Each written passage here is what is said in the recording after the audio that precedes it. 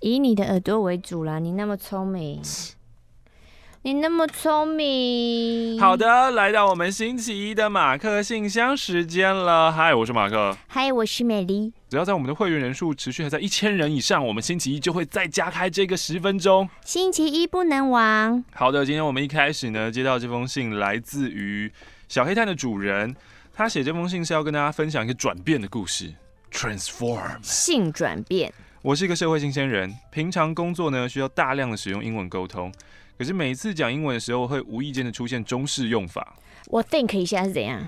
我 think 一下，但我觉得这个很很很自然啦。I go to I go to restaurant and eat something，这没错啊。对啊，我去餐厅吃些东西。对对对，我觉得用中文，毕竟我们的母语是中文，所以有中式英文是很自然的一件事情。而且我们的顺序差不多啊，至少不是像日本的那个是相反的啊。哦，就是把动词放在最后面。对对对对。我听说啦，听我会讲泰文的朋友说，他说如果等一下，嗯你什么时候有认识会讲泰文的朋友？我都不知道。怎么样，你什么时候认识的？我们先解决这件事情来。广告配音时候遇到的客户，这样可以吧？客户是泰国人，他不是泰国人，他会讲泰文。他交换学生的时候去了泰国住了一年。OK，他就跟我说，泰国就很简单，譬如说我说不要香菜，就是 my a p a c h i 就是不要香菜，菜对不对？我要吃饭就是哦哦哦哦，就是一模一样的东西这样。过但英文文法还是有些不一样啦。譬如说，他有一天呢，想要跟外国人的业务聊天，说我会煮饭给我阿妈吃，来 I，can cook for my grandma。哎呦，结果他说成了 I cook my grandma，我把阿妈煮来吃，就哎因为我不我不知道孙子的英文怎么讲哎、grandson 呢，我没有用过这个字。哦，OK，嗯 OK，因为呢，就是有闹出过这些笑话，所以我觉得主管好像不放心，派我去参加有外国同事的会议。然后我又是一个社会新鲜人，我薪水又不高，付台北市的房租就已经负担很重了，每天大部分时间就是上班、加班、上班、下班，根本不可能抽时间那个花钱去英文补习班上课啊。然后我有上网查很多英文课程的资讯，可是就我应该是也有看到一些我的资讯吧。哎呦，哎呦，我觉得没有办法，就是花钱这样刷下去。结果后来呢，就在马克信箱听到马克说那个 VoiceTube 的 Hero 英文课程，又一位 Voice Tube，哎、那他们是不是接力下去就每个人都不用花钱？哎其如实是这样。如果你一直挑战成功的话，嗯，我不知道你挑战过一次以后，还会不会挑战第二次、哎你可以用你 grandma 账号啊。哎，对哈。我是不是讲出了一些 bug？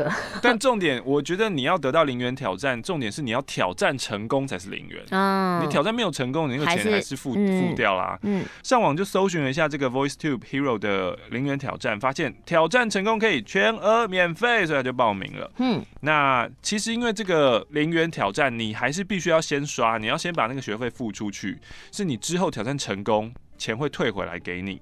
所以呢，我为了拿回学费，从那个时候开始呢，我每天上班的通勤时间，我就从原本我都在玩手机粪 game 的消遣，变成学英文。然后呢，在零元挑战这段时间，除了英文的语感跟口说我真的有变好之外，最棒的是我养成了每天学英文的习惯。真的蛮难得的，我觉得我每天早上呢，从一个厌世的废物变成一个对未来充满希望的人，而且呢，有一天我还意外的发现，我们主管竟然也有参加零元挑战，我觉得我很佩服他。因为他的工作已经很忙了，没有想到他还持续的去精进英文。现在呢，跟主管偶尔还会聊一些 Hero 课程里面的内容，比如说呢，有一堂影片有讲到手机游戏是如何赚钱的，所以我现在不只会玩 Fun Game，我还知道 Fun Game 背后的商业模式。瞬间我自信爆棚了，连跟外国同事聊天也可以讲一些比主阿妈更有深度的话题。平时呢，工作忙碌，有时候真的会失去方向跟热忱。我觉得花多一点心思投资自己的感觉真的很好。总之呢，这段期间我获得了很多，最重要是多了一份自信，然后呢，也多了更多的 confident，confidence 是名词，名词也也有了更多的热情的工作态度。那 passion yes passion work attitude work attitude，yes，祝大家职涯目标都可以顺利，要一起加油。好，那这个 VoiceTube 一样，因为它有那个推荐码嘛，所以同样的，你只要用呃我的推荐码去学习的话呢，就可以打九折。那一样，我把 How 推荐码 to find Mark's code？就在下方的资讯栏。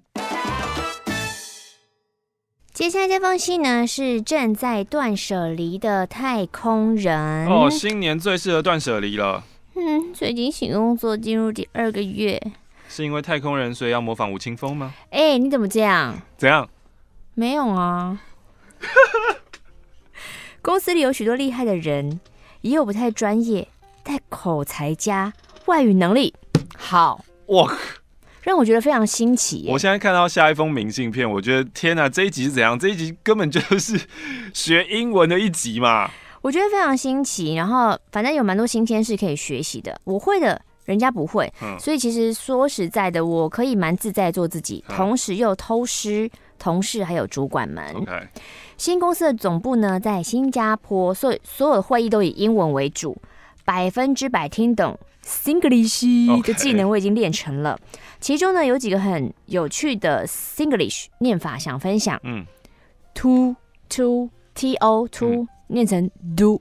哦。T 的发音很重，do do 句尾要加 la，啊。LAH 最硬的口音是印度人讲英文，嗯百分之三十左右会听不懂，然后以至于我无法分享印度人到底怎么弄。嗯今年写了五封以上的信来马克信箱，用了不同笔名记录我的旅行心得、新年愿望、抱怨家人、转职、失业，加上这一封，我觉得今年的信箱真的陪我度过好多低潮时光，由衷感谢这个温暖的存在。上述的信中内容呢，我几乎不曾跟身边的家人还有朋友提过，但我在信箱里面告诉全世界了。嗯嗯嗯，这感觉好奇妙。身边不乏同事点友的朋友，他们正在默默听我的匿名信，但他们不知道是你。对，嗯不知情的状态下、共享了我的秘密。九月呢，我搬家到师大附近，走路就可以到飞碟哦那。不是走路就遇到我。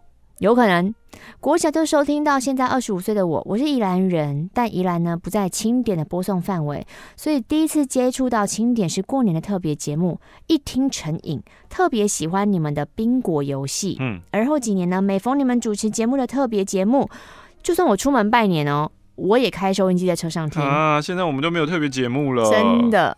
曾经扣令进交割了哥哥肉两点，获得了日本带回的扭蛋。答题完之后呢，艾丽跟我要了联络方式之后，就说：“那你自己来电台拿哦。当时我只有国二，嗯家又住在宜兰，嗯我就放弃了这份奖品，因为我根本不知道电台在哪。对啊。另外，想借这封信，我要向陈贤进告白。都是正大的点友，年轻的他唱出那么棒的歌来颂赞青春点点点的伟大。啊，渺小的我，唯一会的就是写信塞爆信箱了。谢谢。推荐最近我爱的 App 来做个结尾吧。嗯嗯第一，我喜欢记账城市，华丽可爱的记账 App 让你记账更有成就感。第二个就是旋转拍卖，因为卖二手物不用手续费，我是一个断舍离人，这是我的好朋友。嗯，第三个是 Shazam。听音变歌，在逛街的时候听到喜欢的歌，就用这个 app 马马上上搜。祝大家二零二零健康快乐！我希望蔡英文当选，哇，你的那个，你的你的目标成真。这封明信片来自于 Melbourne 少女 I，我是在国外打工度假的少女 I，在国外的生活比我想象中更轻松跟容易。哇哦！一开始因为希望英文能够进步而去上了四个月十分钟是怎样？他去上了四个月的语言学校，认识了许多不同国籍的朋友。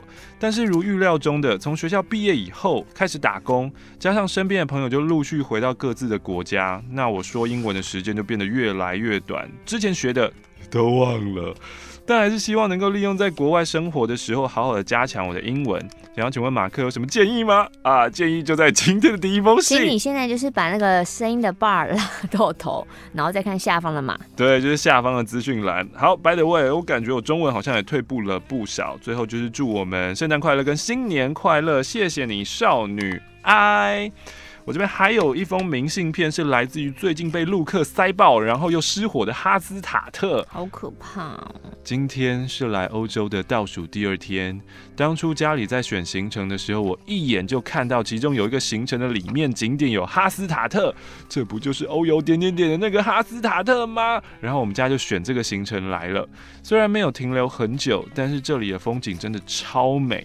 不过因为要来欧洲，所以我错过了玛丽电影院 QQ。欧洲比较美啦，它是台北口关到停不下来，停不下奶木。我这个好好难念哦，我想要请你念一次。我是台北的什么意有笑哦，笑到停不下奶。最后一个，这是不是眼睛加一个嘴巴？是哦颜文字吗？只是一个颜文字而已啊。OK，I'm Fine, so sorry。bye.